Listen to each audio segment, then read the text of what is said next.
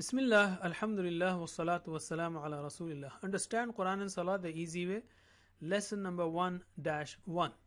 Through this, we will learn five words which occur in the Quran almost 2700 times. So let us learn A'udhu billahi minash shaitanir rajim.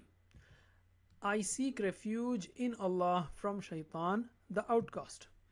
A'udhu, I seek refuge, meaning I seek protection. Safety first. Buckle up. Get protection. That's what Allah subhanahu wa ta'ala is teaching us. Billahi is made up of two words. Bi Allah. In Allah. Allah is the original name of Allah. The rest like Al-Karim, Ar-Rahim are his attributes. When it's cold, we try to protect ourselves with warm clothes so that air does not attack us from any side. A'udhu billah means, Oh Allah, I want protection.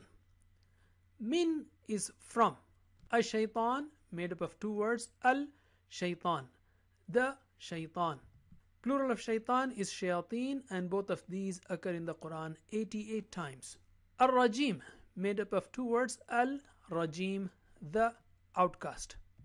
How will you remember the meaning of ar rajim? Do you think shaitan is close to Allah? Never.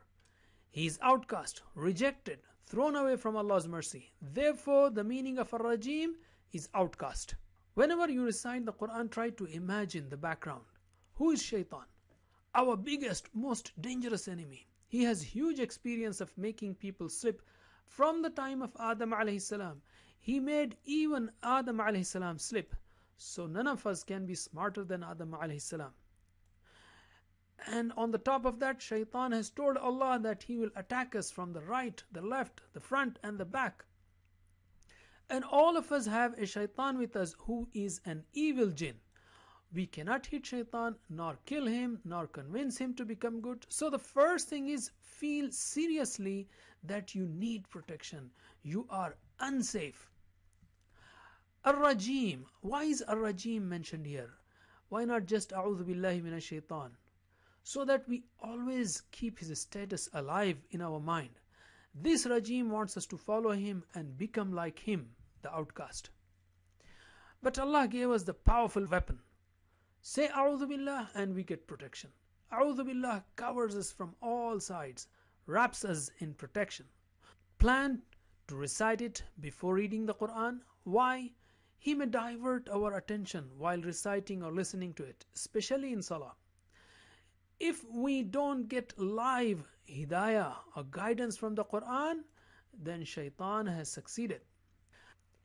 Shaitan runs away from the Quran itself. Even then, Allah asked us to seek His protection before reciting it.